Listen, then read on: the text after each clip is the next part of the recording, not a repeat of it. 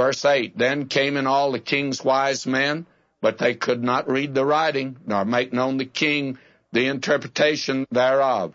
Now, this is the third time the wise men of Babylon have failed. And the third time, you don't hit the ball, you're out. And I think this put them out of business that night. Verse 9 Then was King Belshazzar greatly troubled, and his countenance was changed in him, and his lords were astonished. You can imagine there is in that banquet room where a few moments before they were all laughing and drunk. Now they're sober and perplexed and troubled and puzzled. Verse 10 now through 12.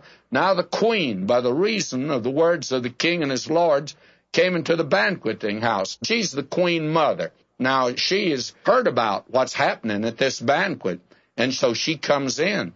And the queen spoke and said, O king, live forever. Let not thy thoughts trouble thee, nor let thy countenance be changed.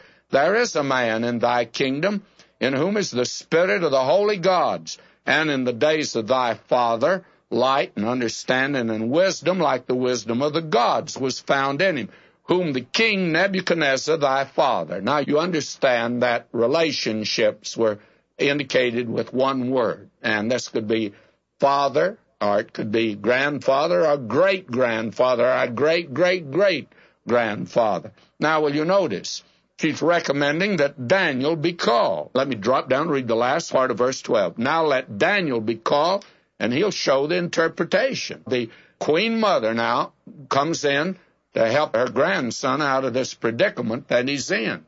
Well, do you notice what happens now? Daniel's brought in. He'd been set aside. I imagine after Nebuchadnezzar, they got rid of him in the sense they was pushed out of office.